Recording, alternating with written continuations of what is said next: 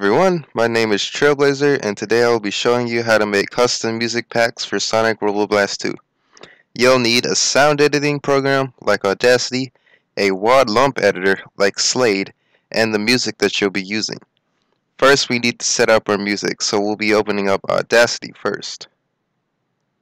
And then we'll need to file, import audio, and you'll need to find and select your music. I'll be using this one here. Now most of the time your songs will need to have a loop point. To make things easier, set your format to samples. So you go down here, click this arrow, go up here and click samples. Now you'll have to be listening to your song and figure out how and where it loops. So I'll come back after I've finished. Alright, I've marked the point where I want my music to stop. So, as you can see right over here. Now, we're going to click on that and drag it to the right all the way to the end of the track and then edit and delete to get rid of the rest of the track. Now we gotta do the same for the beginning except this time we need to find the point where we want the song to loop back around to. So I'll come back again after I finish doing that. And now I've marked the point where the song's going to loop back around to. This time we're not going to mess with the rest of the track. Instead we'll be messing with the volume. Now I'm going to be raising this because I think that the overall volume of this music is a little bit too low. So I'm going to raise it to 4 decibels. I'm going to listen to this real quick. Now up here you saw that it'll be a right around constantly the red. It says that it's bad, but I think that you should be aiming for constant red levels, but not too much, otherwise it'll be really loud. So then we're going to go to File and Export.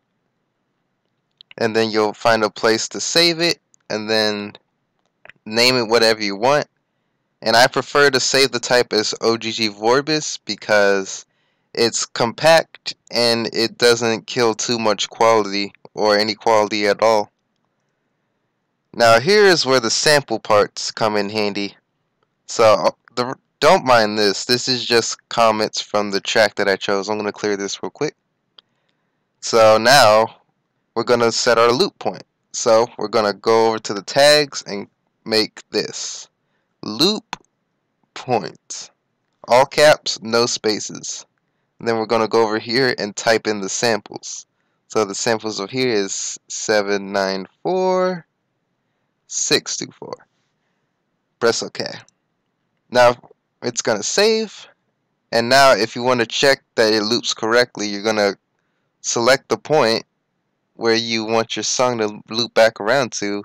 Click Controls, no not click, press Control C to copy. Or you can just go to edit and copy. And then click on the end of the song and paste it. Control V. Or again, edit and paste. Now you'll see this little line here. That means that the tracks are unmerged. So click on that and it'll merge. And now we're going to listen to it again and hear it loop back around perfectly.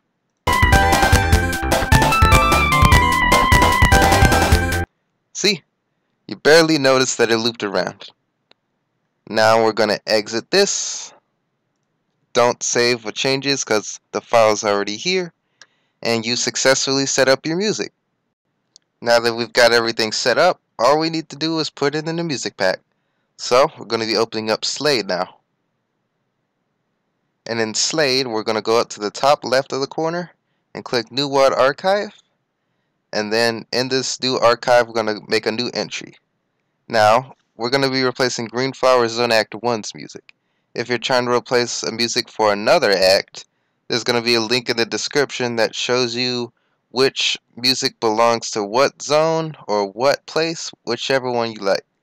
So, the way music works here is going to be like OMAP XYM, and Green Flower Zone is OMAP 01M.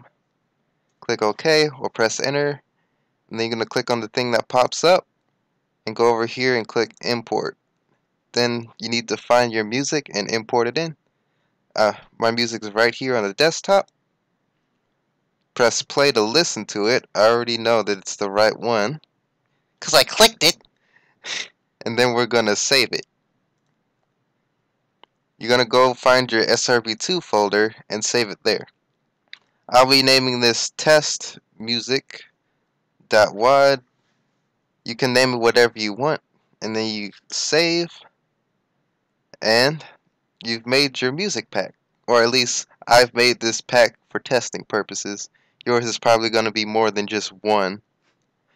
So I'll open SRB2 and then we'll move on from there. Now that we've got SRB2 open, we need to add in our music pack. So we're going to go to the title screen and press the tilde button. The tilde button's in between tab and escape. So we're going to do add file test music dot wad. Again, that's the thing I named it. You need to type in what you named it and then dot wad and then press enter. And then it'll say you've added in your music. So then you go to the music, I mean the stage, and then you listen to it. So we're gonna go Green Flower Zone Act 1. And there we go. It's working. Then you're just gonna play around.